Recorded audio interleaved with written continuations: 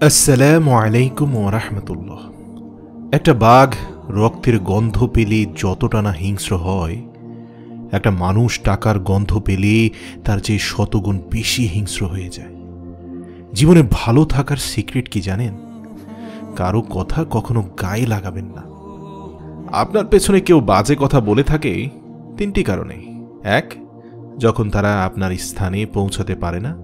দুই আপনার যা আছে, তাদের সেগুলো হয়তো বা নেই। তিন, তারা আপনার মতো হতে চায়, কিন্তু হতে পারে না। পৃথিবীর নিয়ম বড় অদ্ভুত।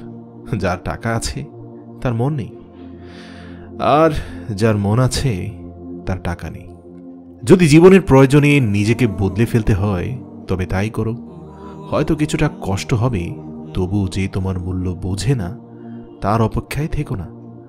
যারা বেশি কথা বলে তাদের মধ্যে ভেজাল কম থাকে। কিন্তু তারা আবার ভেজালে বেশি পড়ে। বৃষ্টির সময় প্রত্যেক পাখি কোথাও না কোথাও আশ্রয় খোঁজে। কিন্তু ঈগল মেঘের উপর দিয়ে উড়ে বৃষ্টিকে এড়িয়ে যায়।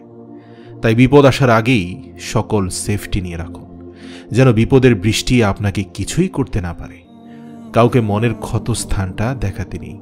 কারণ মানুষের কাছে ব্যথা কমানোর মলম না থাকলেও কাটা গায়ে ছেটানোর জন্য লবণ থাকবে ঠিকই।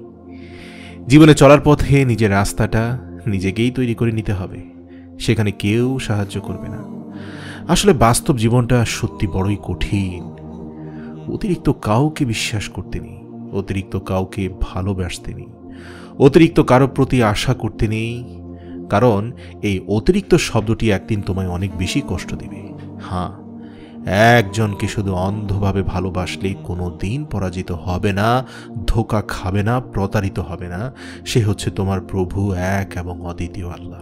মানুষ হারিয়ে গেলে খুঁজে পাওয়া যায়, কিন্তু মানুষ বদলে গেলে আর আগের মতো করে তাকে খুঁজে পাওয়া যায় না। সবচেয়ে খারাপ লাগে তখনই যখন আপন কেউ পথভ্রষ্ট হয়ে যায়, কিন্তু ইচ্ছে থাকার পরেও তাকে সঠিক পথে ফিরিয়ে আনতে পারি না। যেখানে তোমার গুরুত্ব নেই যেখানে তোমার কথার দাম নেই, সেখানে যাওয়া বন্ধ করে দাও। এটা কারও বাড়ি হোক বা কারও মন হোক। কাউকে কাঁদিয়ে কোনোদিন সুখী হওয়া যায় না। কাউকে ঠকিয়েও কোনোদিন ভালো থাকা যায় না। কারণ মানুষ যেমন কর্ম করে, তার ফল ঠিক তেমনই হয়। নিজের মন খারাপ, নিজেকে ভালো করতে শেখো। কারণ তোমার তুমি ছাড়া আর কেউ নেই। সব বন্ধু পাশে থাকে না।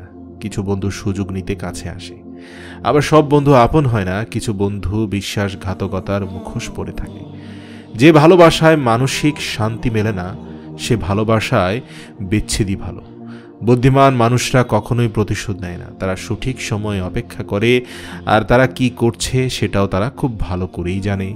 মান্যতা দেওয়া ভালো, কিন্তু ঠিক ততটুকুই যতটুকুতে নিজের মানহানি না হয়। সম্মান করা ভালো, তবে ততটুকুই যতটুকুতে নিজের আত্মসম্মান বজায় থাকে। আর গুরুত্ব দেওয়া ভালো, তবে ততটুকুই যতটুকুতে নিজের যোগ্যতা ছোট না হয়ে যায়।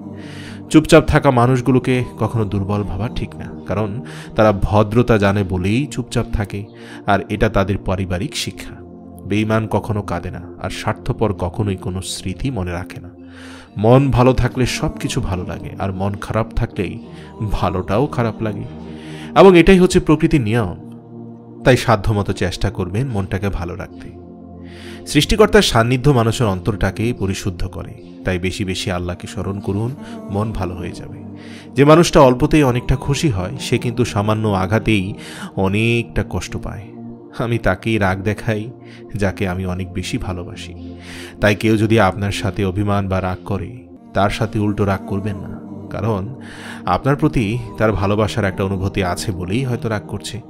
কিছু মানুষ একজন নির্দিষ্ট মানুষকে পাওয়ার জন্য প্রার্থনা করত, অথচ জীবনের পরিস্থিতি এমন হয়ে গিয়েছে, সেই মানুষটি তাকে ভুলে যাওয়ার জন্য এখন প্রার্থনা করে। কাকে বিশ্বাস করবেন? কিছু মানুষ তো চোখ মুছতে মুছতেও এখনও মিথ্যা কথা বলে। যতই কাছের মানুষ হোক, কারও কাছে মূল্যহীন হওয়ার আগেই নিজেকে সরিয়ে নেওয়া হলো বুদ্ধিমানের কাছে মানুষ তার জীবনের ভুলগুলো তখনই ঠিক বুঝতে পারে যখন একটি ভুলের কারণে জীবন থেকে অনেক অনেক বছর হারিয়ে ফেলে। একজন খারাপ ছাত্র, একজন দক্ষ শিক্ষকের কাছ থেকে যা শিখতে পারে, তার চেয়েও একজন ভালো ছাত্র একজন খারাপ শিক্ষকের কাছ থেকে অনেক গুণ বেশি শিখতে পারে। তাই শিক্ষক বড় কথা নয়, আপনার শেখার ক্ষমতা বা ইচ্ছে কতটুকু রয়েছে সেটাই হলো বড় কথা। যে মানুষগুলো তোমাকে বলে, তুমি পারো না বা তুমি পারবেই না তারাই সম্ভবত সেই লোক যারা ভয় পায় এটা ভেবে যে তুমি আসলেই পারবে। তাই চেষ্টা চালিয়ে যান, আল্লাহর উপর বিশ্বাস রাখুন। জীবনকে ভালোবাসুন, আল্লাহকে ভালোবাসুন।